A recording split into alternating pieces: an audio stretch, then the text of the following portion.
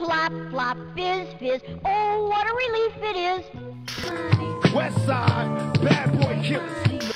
Joining us now to talk about our System 8 Victorian Sunroom Conservatory, that's the proper name, isn't it? It is. Is Ira Missing. How are you, Ira? Great. How are you, Christopher? Well, we are having such a great time with this new addition to our studio.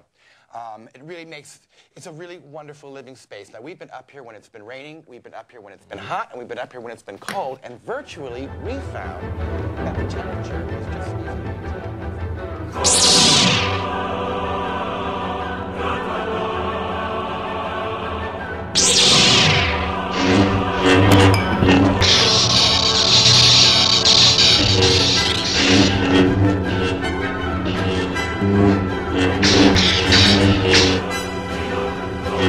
Thank mm -hmm.